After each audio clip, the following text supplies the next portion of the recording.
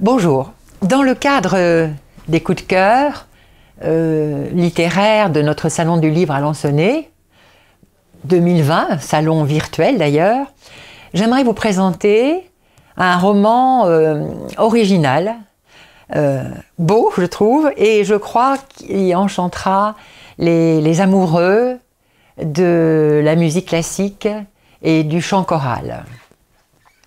Alors ce livre, c'est Les Vibrants de Maxence Amiel aux éditions Le Vice en Bois et ça a été édité en 2019.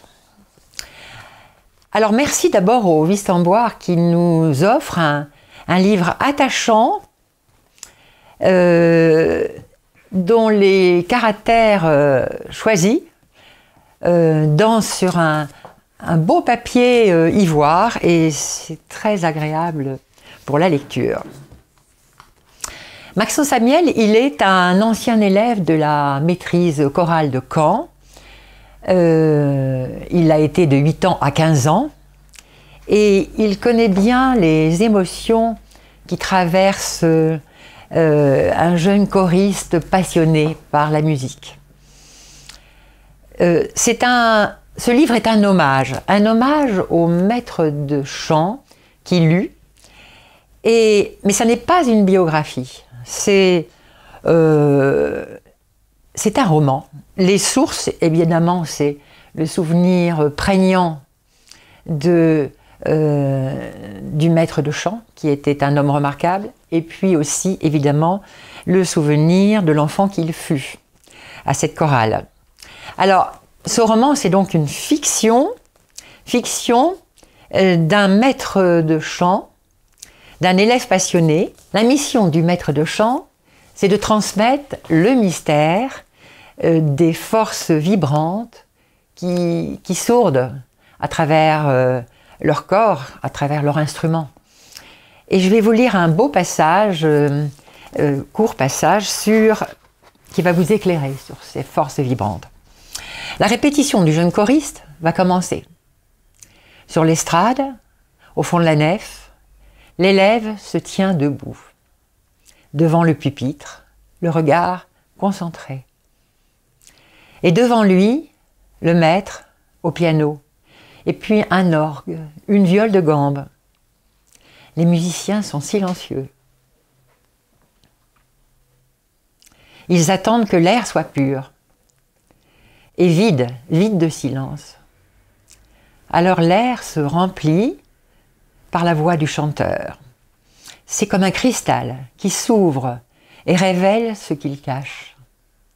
La viole et l'orgue accompagnent avec légèreté le chant jusqu'à la fin. Et plus rien ne bouge sur la scène, l'espace vibre, tout résonne et semble ne jamais s'arrêter. Et cela dure et dure encore. Le monde s'arrête. La musique seule, vibrante, encore.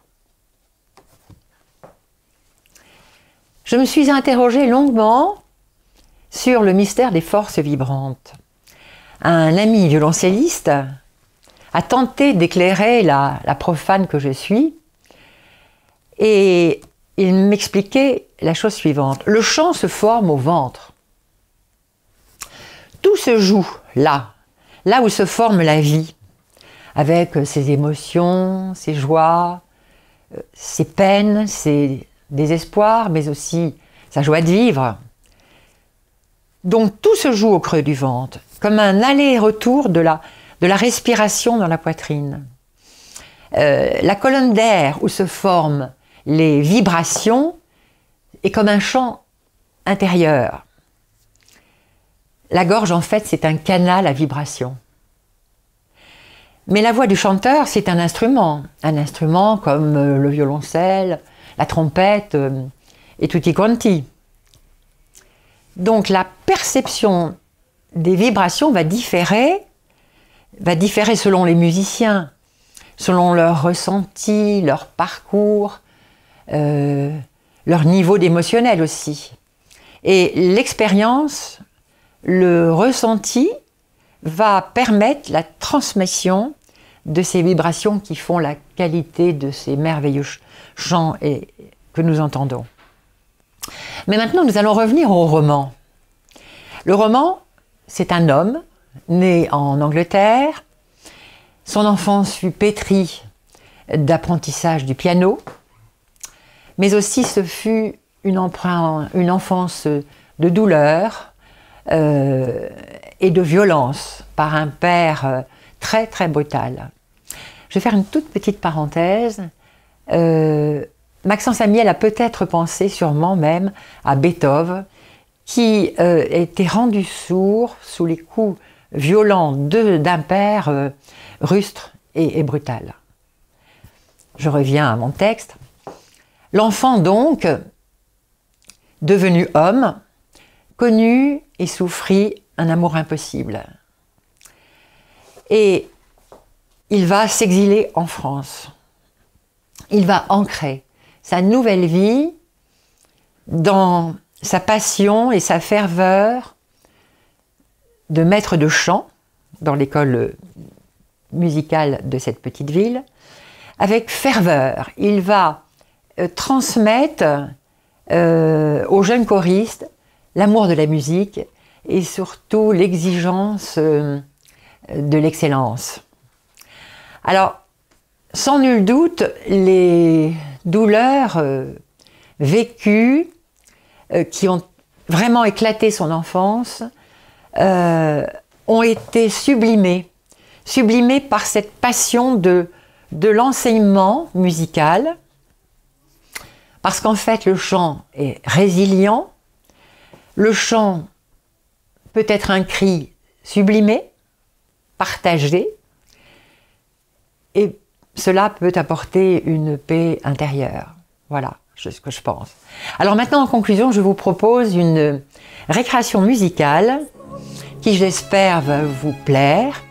Il s'agit d'une grande artiste euh, qui est une merveilleuse mezzo-soprano. Et euh, son nom, excusez-moi, mais je vais le lire, Bernarda Fink, dans une œuvre de Scarlatti, Il primo homicido. Voilà.